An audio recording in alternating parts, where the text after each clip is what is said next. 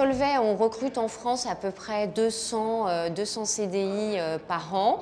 On a un volume de recrutement d'apprentis autour de 300 et quasiment le même chiffre également pour les stagiaires. Donc on a un volant de recrutement important pour la France. On a besoin de compétences de chimistes, hein, des techniciens, des ingénieurs procédés. Également, on recrute euh, des jeunes euh, dans des filières de marketing, de vente, euh, également aussi des fonctions support. Hein. On a besoin de financiers, on a besoin de contrôleurs de gestion. On veut des gens avec une vraie ouverture d'esprit qui pourront demain s'intégrer facilement dans un groupe international. C'est extrêmement important si on veut faire une belle carrière chez Solvay. Au mois de juin, nous aurons Solvay un stand composé bien, bien sûr de collaborateurs, ils viendront de tous les sites en France, des équipes RH, des recruteurs et on sera là pour expliquer euh, les métiers de Solvay et puis essayer d'attirer le plus grand nombre de jeunes. now.